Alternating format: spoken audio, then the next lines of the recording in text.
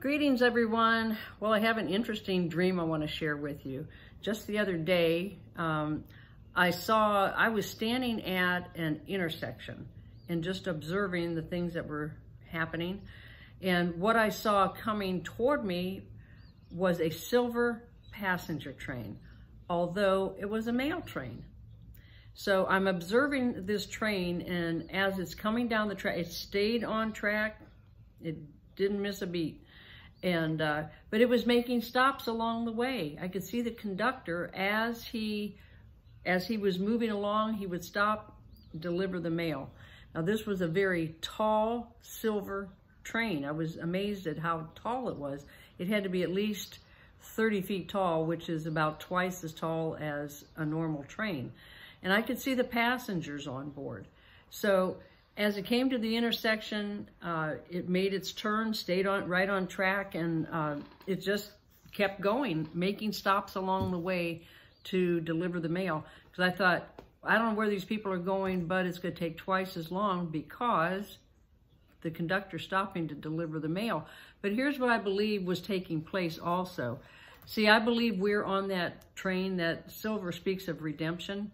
And it also speaks of souls, you know, it's the price that's paid for souls. So it's a train of redemption. And the passengers on board, I think that a, a lot of them are us. Some of us are being relocated um, to different places and it, redirected. So we are the ones taking, what is that mail? That mail is the good news and we're being taken to where we need to be most effective to deliver the good news. You know, it's not a time for us to be timid, to be shy, to hold back with what the Lord is saying.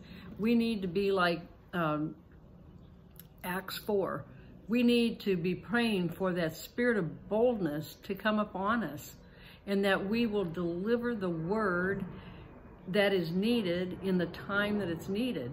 You know, there's a time in uh, Ecclesiastes speaks about a time for everything. And it's a time for us, there's a time for us to bridle our tongue and a time for us to loose it and to speak what the Lord is giving us. There's a real wisdom in that, but we are to be doing the greater works.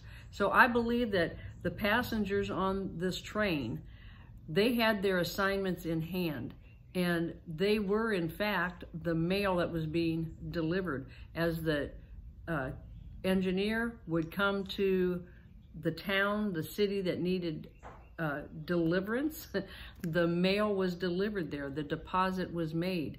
And don't be surprised if the Lord calls you to do something that it may be something that the Lord hid in your heart a long time ago. Maybe secretly you've prayed about it and you thought it would never ever come to pass don't be surprised if the Lord said, now is the time. You know, I believe there's a repositioning and uh, a recommissioning that has and is taking place.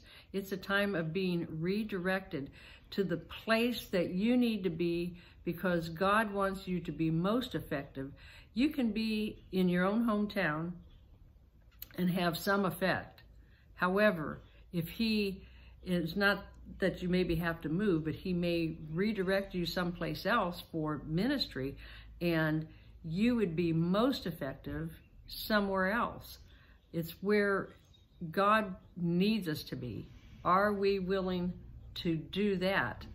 You know, to lay our agendas aside and to go and do the things that God has called us to do. So, um, be bold. Ask for favor in the time of favor and speak his word in truth. Don't be afraid to take new assignments. You know, it could be going to a neighbor's house. It could be most anything. But these people on the train, I believe that they were, uh, they were the assignments and they were the ones being mailed on that train. Okay, so it's a silver passenger train coming to your home, coming to your door. Okay, be able, be ready to receive what God is giving you because it can be uh, life-changing and it's for his purpose. Remember, it's not about us, it's about him. It's what doing his will not ours. Okay? So next time, be blessed.